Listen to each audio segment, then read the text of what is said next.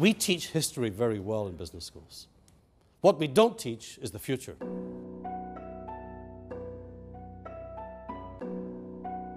The models we had that explained our reality, that said if you pull this, this happens, those have kind of evaporated.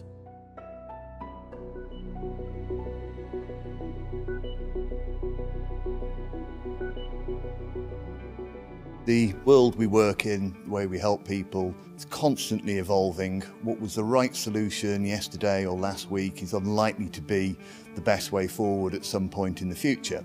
Today is going to be thought provoking. People will walk out and think slightly differently to the way they did when they walked in. What we really want our clients to do in this day is to understand what TORI really is offering and to hopefully understand that we are trying to go to the next step Am I really looking at strategy in the right way or am I playing at it? We are in distinguished company and I'll hand you over to Gordon. Thank you, Gordon. Thank you. I told them at the beginning I was going to try and achieve two or three objectives. First of all, make the subject interesting. It would be sort of compelling in terms of the, the ideas. Look at markets with two properties. One is they move quickly and the pattern of behavior can change that just eradicates your strategy in two seconds. And it happens because, in the scientific definition of complexity, sometimes things get connected. The agents in the system interact with each other, ricochets, you know what I mean, take place. And the whole thing can move outside the boundaries of the model you thought was determining the system. It was fascinating and thought provoking and scary all rolled into one, really you like to think you're doing well and that your business is is successful, but how long will it be so? And, and the, the, people that you look at, like the Sonys and whoever the world, that maybe hadn't uh, the success that you were expecting of them. I mean, they were great people doing great things. So, you know, it could happen to you. So you have to think about it. So.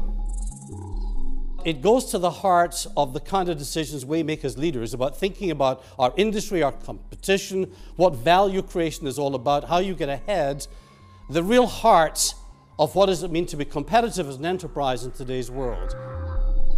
It actually made me stop and think about what I do in my industry in banking, about how we need, again, to reevaluate and look to the future to find that sort of Apple iPod moment.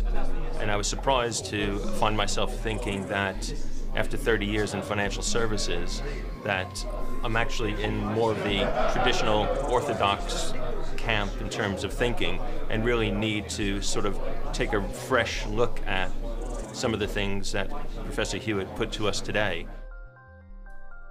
Till two months ago, Nokia had the largest manufacturing global share of telephonic handsets in the world.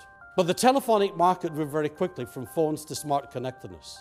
So here's an interesting question for starters. Under what circumstances does market share that important metric, not become a good measure of market influence. What I really liked was some input from Gordon, some really challenging ideas, and then an opportunity to discuss that round the table with colleagues and get those different perspectives. Many of them were saying, we don't talk like this enough inside our company. You know, it's nice to come outside and do it. Gordon always stimulates your thinking. We've had real value uh, enhancing strategies by him testing it, poking it, saying, look, that's the old thinking. Who could take you out of the business and make you think about what tomorrow's world is going to be as opposed to an extrapolation of today's world. We're so tied down in processes, the brain isn't free to start doing thinking. There are only three types of agents in a complex dynamic system. Those that make things happen, those that watch things happen, those that wonder what the heck happened. The question is which one are you in? And how would you know? And when will you know?